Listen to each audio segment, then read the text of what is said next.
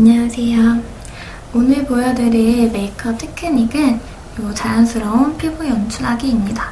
어, 지금 다른 색조 메이크업은 전혀 하지 않았고 피부 표현만 마친 상태예요. 제가 사용한 제품은 liquid 파운데이션 그리고 컴팩트 파운데이션 이 두 제품을 같이 사용했어요.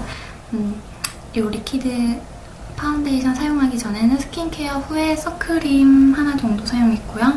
음, 그 다음에 리퀴드 파운데이션과 컴팩트 사이에 컨실러로 잡티를 살짝 가려주었어요.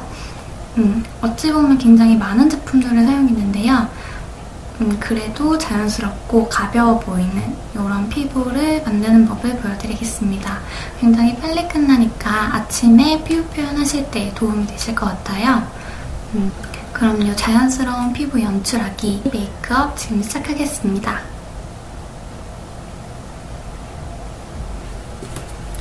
먼저 얼굴 전체에 선크림을 발라주세요.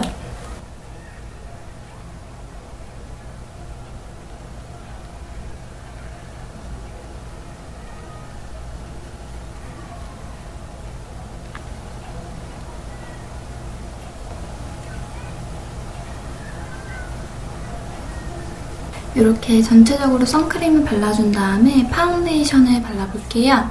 제가 사용한 제품은 랑콤의 땡미라클 501 제품이에요. 이마, 볼,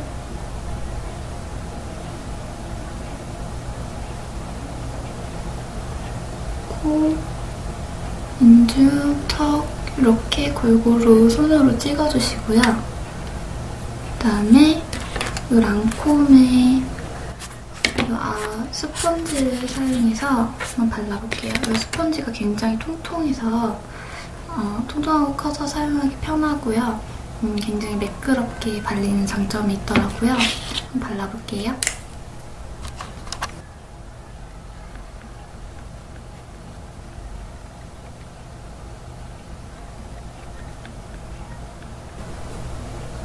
먼저 피부 결대로 파운데이션을 펴발라주고 그 다음에 톡톡톡 두드려서 마무리해주시면 어, 스펀지 자국 없이 자연스럽게 그리고 살짝 매트하게 마무리된답니다.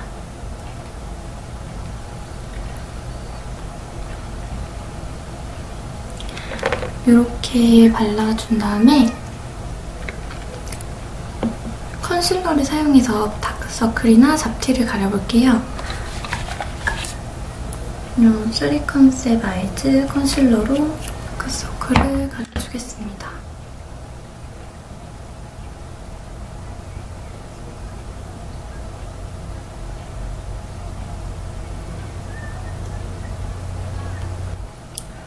바비 브라운 터치업 스틱 제품이고요. 어, 완벽하게 커버하는 것보다는 어느 정도 살짝살짝 보이더라도 자연스러운 느낌으로만 커버해주는 것이 좀 더 피부가 좋아 보이도록 연출할 수 있는 방법인 것 같아요. 유분이 잘 올라오는 피부라던가 좀 더 커버력이 필요하다 싶으실 때는 팩트로 마무리해주시는 게 좋아요. 땡미라클 팩트입니다. 이 제품 역시 501 컬러 제품이에요. 이 스펀지의 경우에는 한쪽 면은 일반 스펀지와 같은 면이에요. 그리고 한쪽 면은 부드러운 벨벳 면으로 되어 있어요. 그래서 처음에 스펀지로 제품을 덜어서 얼굴에 살짝 발라준 다음에 이 벨벳 면으로 부드럽게 펴주시면 돼요. 이 스펀지 면으로 제품을 전원을 준 다음에 피부 결 방향으로 바깥쪽에서 살짝 길러주시면 이렇게 발려요. 이렇게 발리고 이제 돌려서 벨벳 면을 사용해서 바른 면을 펴주면서 얼굴 전체에 발라주시면 된답니다.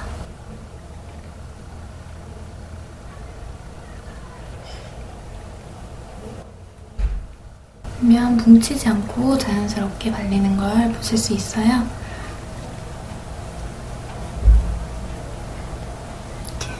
이쪽눈이랑 이쪽 눈이랑 이렇게 발라주시고요.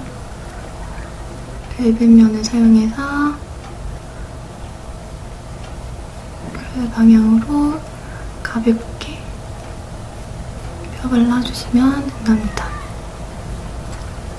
제품을 너무 많이 두드리실 필요는 없고요. 코 부분은 바로 이렇게 벨벳 면에 덜어서 이렇게 문질러 주시면 자연스럽게 뭉치지 않고 바를 수 있어요.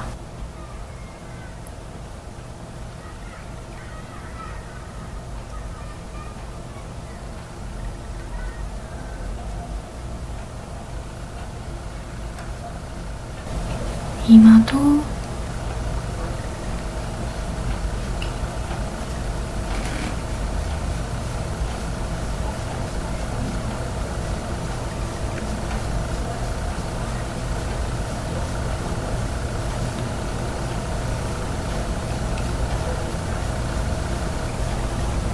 결대로 살짝살짝만 문질러주면 이렇게 팩트를 했는데도 무거워 보이지 않고 촉촉한 느낌이 살짝 남아있는 그런 가볍고 자연스러운 피부를 연출할 수 있어요. 눈두덩 같은 경우는 아이 메이크업을 한다면 생략하셔도 되고요. 어, 좀 더 유분기 없게 만들고 싶으시다 하면 이 스펀지 면으로 꾹꾹 눌러줘서 꾹꾹 눌러서 마무리해주시면 된답니다.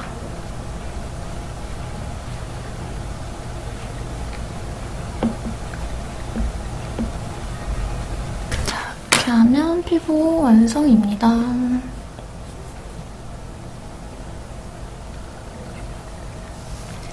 음, 팩트까지 했는데 굉장히 자연스럽고 어, 느 정도 커버력도 있으면서 음, 굉장히 좋아 보이게 피부가 연출되었어요. 어, 리퀴드 파운데이션이랑 팩트를 다 같이 사용해서 자칫 무거워 보일 수 있는데 이렇게 소량씩만 사용해주면서도 음, 어느 정도 커버력 있고 자연스럽고 촉촉해 보이는 피부로 마무리해보았습니다. 이렇게 빨리 끝내는 자연스러운 피부 표현 방법 마음에 드셨길 바라고요. 저는 다음에 메이크업 동영상으로 또 찾아오겠습니다. 그럼 안녕!